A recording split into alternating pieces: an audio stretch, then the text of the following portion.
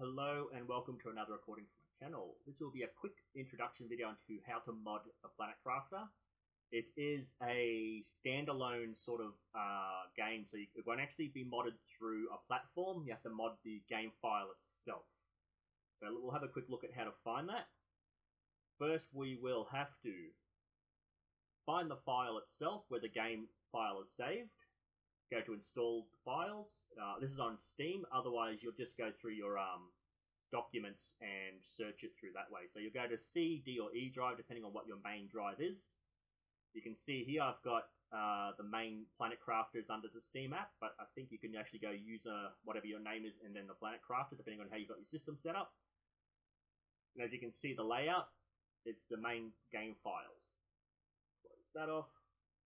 Um, you want to use Vortex and go or Vortex or Nexus. They're both the same thing, just different names for the same thing. You can also Google search for this, but I use the Nexus page. Okay, you can see I've tried to do it before. Okay, so the problem is I cannot find the BIP INX file. It comes up as nothing.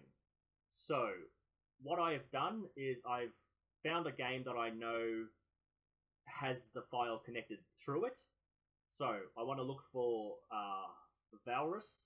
Valrus has the link on his other mods. So you just want to click this. You want to click on down and just randomly download any mod.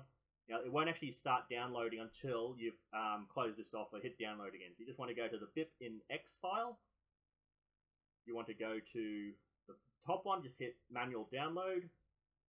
As you can see, I've downloaded it a couple of times, but I'm just doing this as a um, courtesy video. So we'll close that off, but we'll keep this open. Go back one. Okay, so now, oh, right, got the Planet Crafter. Now you've just downloaded it, so you want to find the download link. You right click on that, open it in a new window, and as you can see, there it is. What you want to do is you want to open this, What you want to do is collect all that, drag it over and drop it. As you can see, it's updated. Now, we can close that off. We can close this off. And, oh, no, I don't want to close that off. We want to open this. And as you can see, the only thing in there is core. That's the only file. So what we'll do is we will go back to uh, Steam. So whatever whichever platform you have it, or if it's not on a platform, it's just a standalone game. You just want to play that, hit play. Now, all you have to do is wait for the game to load. Okay, so uh, this could take a minute or two. I'm just going to skip forward to this point. So what you want to do is quit out. You don't start a new game, you quit right out. Back to the main um, page. And if you go back to the Planet Crafter uh, page here where it says the BepInEx, where it just had core, it's now downloaded all the other software required. Now, the only thing you need to do now is add your mods. You go to plugins, you don't touch any of the others, you go to plugins. What you want to do is you want to go back to the Vortex page, wherever that happens to be. And let's go back to the main page. And you can see I've downloaded a couple. So basically, what you want to do is, I'll just find a quick uh, one I'll this one I don't really care for, but it's it's there as a demo. So what you want to do is you want to go to the files. Again, you don't mod manage. You every single file you download should be a manual download. It's it's done. Let's click on that to get the um, page up. So get rid of that. You want to go to your plugins page. You want to open this. You want to drag that across. It's that simple. Now, you don't have to do it for every single individual mod, but every single time you, you add a mod to this, you've got to do the startup, um, close down, and then start up again. So I am just going to, I'm going to just drag over all the other files I have. So I'll show you what I've done already. You saw those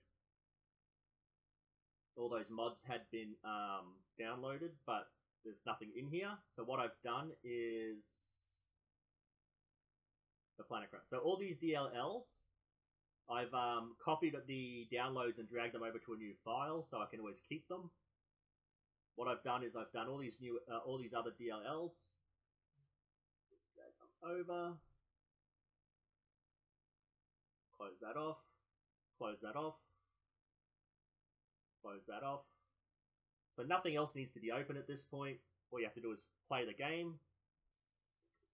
Okay, so once again, once you get to this scene, uh, screen, you don't play, you quit back out. What this will do is in the uh, game file, as my understanding, um,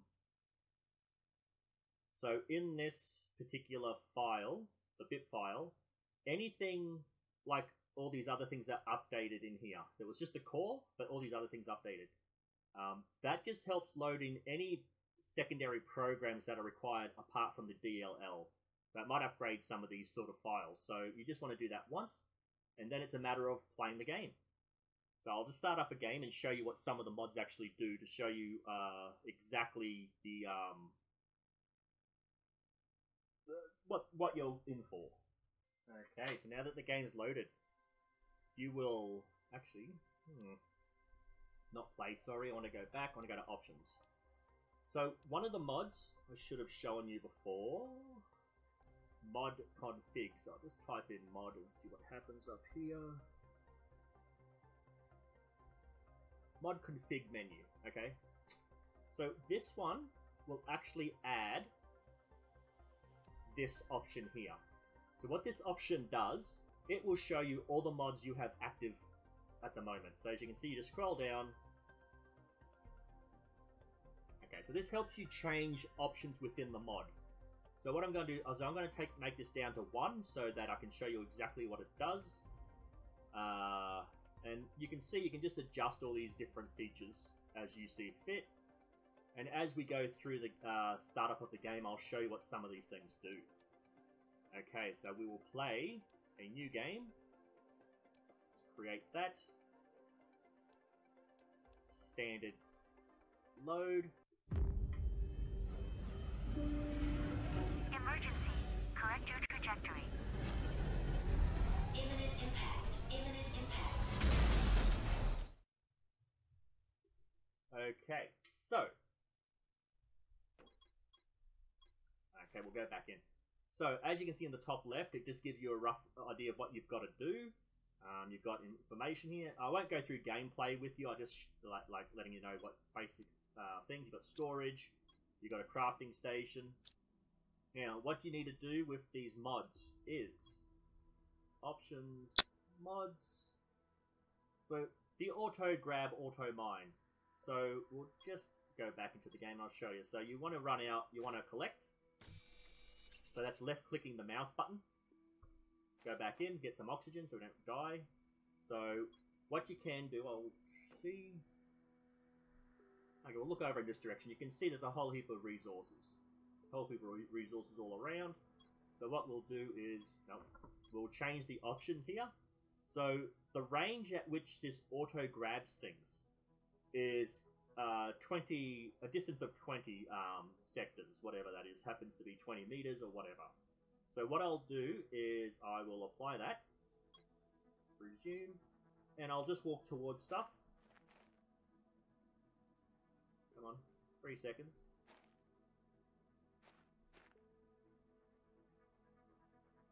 I did adjust it, didn't I? Options 20, apply, resume. Oh, I don't have the chip on me yet. I have to build the chip first, I think. No, I don't need to build a chip. This is weird. It should have activated. Uh, options. Let's just extend that then. Apply. Resume. That's weird. It's not working. Options. I have to activate something. Enable. Oh, sorry, that's right. I have to activate it. So, to activate it, you hit V.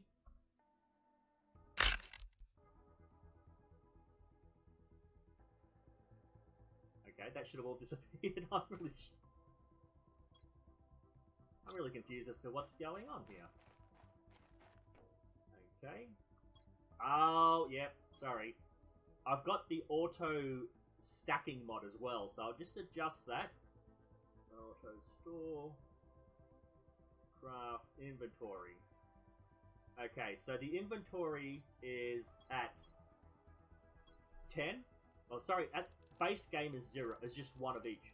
That's where you, you get uh, 12 items and that's it. I've got 120 on me at the moment.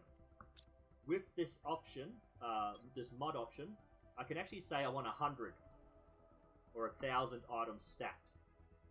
So let's go back and have a look. And as you can see, I've just picked up all those resources. They've all disappeared now because I've picked them up automatically. If I go to my backpack, you can see I've got a couple of hundred. So the where I had 10 and 10 iron, I've got now I've got 328 iron in one stack because I can get up to a thousand. So that's how the auto grabber and the auto stacker works. Uh, let's have a look at some other mod options you can try. Okay, go back to the top. Okay, so your basic range is 20.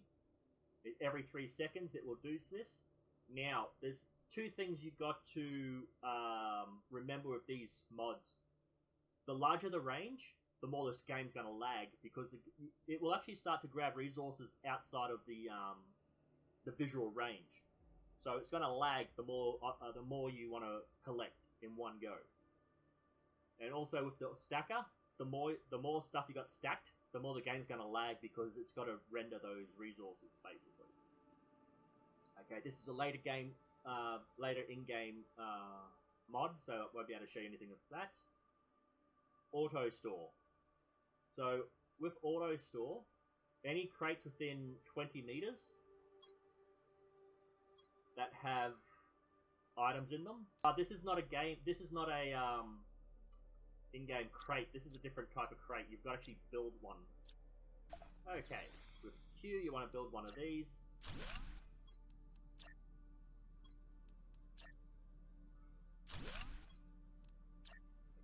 I'll just build a couple here that do this. Now, your basic game uh, crate will not have this black screen on it. This is a mod as well. So what this mod actually does with um, extra uh, storage options is it adds a name to the very first thing you put in there. So if I put in an iron, it's not going to show an iron. It will show the very first thing you put in there. But if I take the cobalt out, the only thing in there is an iron, but the first thing was a cobalt. So you can actually change this if you wish, but I'm just doing this for um, uh, mod showing purposes. Okay, so as you can see with this, I've got uh, cobalt and iron in there, and I've got space food in there. In this one, I've got nothing. So you can see I've got cobalt, iron, and space food. So when I hit K, bit of a lag because it has to transfer all the items. All the space food's gone, all the iron and cobalt is gone. Now, if I have silicon and take that out, so the crate's empty, and I hit K, nothing will move because there's nothing in this crate for the auto sorter to add to. So you need, you need to actually have at least one item in there, and hit K. As you can see, a tiny bit of a lag, but there's like only hundreds of items, not thousands. And as you can see, that adds. Now let's go to the mods. Okay, so I've shown you this the storage displays, which is the screen. Haven't got the other ones to show you the holographics. Jetpack, haven't got that this later game. Grid Snap. Okay, so let's show you. Okay, so with Grid Snap, so you want to build something. You can't build in particular aisle items because you can't build into the ground. You have to build above it. But if you go back to uh, options and go to grid snap and you want to um, have it have the collision turned off, we will whoop, we will do this again. And as you can see, you can build into the ground. Now, you wouldn't want to do this. You really want to. You, can see that it's actually got a bit of a grid snap, so you can actually still grid snap. That's why you don't want to. You can't even get in there. So you want to try to avoid that. But that is basically what what the grid snapping is. Now you can't, as you can see, it snaps in there, but you can't actually build it into itself or overlapping. So that's where it's uh, it works pretty well with the grid snapping, but you can actually Let's have a look. There you go, see that? You can build in there. Oop. Let's get some oxygen. Uh, let's collect that iron back out. Get any? No, I didn't get any iron. Okay. Oh, there's no iron in there. Down here, isn't it? Yeah. There we go. Get the iron out.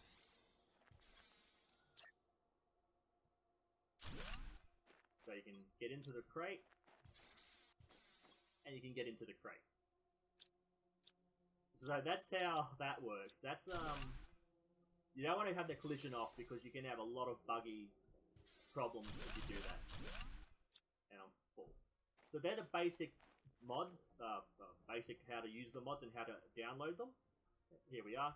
So for every single mod you download, you have to go to manual, go to your download folder, find the DLL file. Let's see. Um, downloads. Go uh, open open with whatever uh, zip file opener you've got. Go to the archives, and you just want to get that DLL file from the other mods. Once you've got that, you dump it into the BepInEx uh, plugins, the plugins file. So you want to get all the DLLs into here. Once you've downloaded the DLLs, you start up the game. Don't play it. You shut it down, and then once that's done, you can start playing. And that's pretty much how you mod the game. Um, hope, hopefully this was helpful for you. I found it helpful. Um, someone could uh, written down a, a step-by-step instruction on how to do it, and I hope this helps you. Thank you. Bye.